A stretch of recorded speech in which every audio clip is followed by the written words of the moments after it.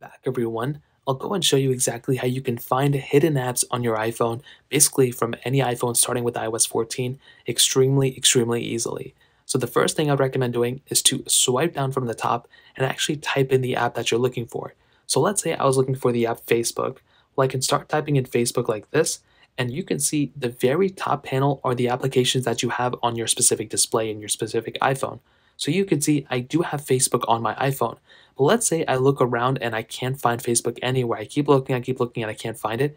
Well, what you can do is you can swipe all the way to the side on your specific app library. And this is a new feature within iOS 14. So about two years ago, this specific feature came about a year and a half ago. So what you want to do here is you want to go ahead and come into this panel and you get here by swiping all the way to the right side. Once you get here, you can actually swipe down. And what you can do here is you can actually find that specific application you're looking for. So you can see right here under F, I have Facebook. So what I can do is I can go and hold down on this application like this.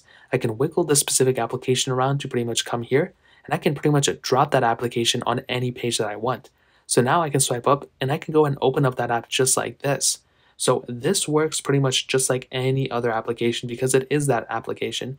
And you can even have multiple apps. So you can see I have Facebook here and I even have Facebook up here as well somewhere I think too.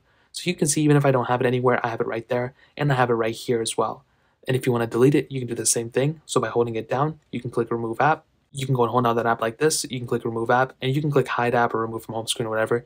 But that's pretty much the process. You swipe all the way to the side and you find the applications over here. And that's pretty much it. If you guys have any other questions or anything like that, let me know in the comment section below. Hit the like button, that'll mean so much, but definitely hit that subscribe button. More importantly than everything else, I love every single one of you guys. Hopefully I'll catch you guys in the next video.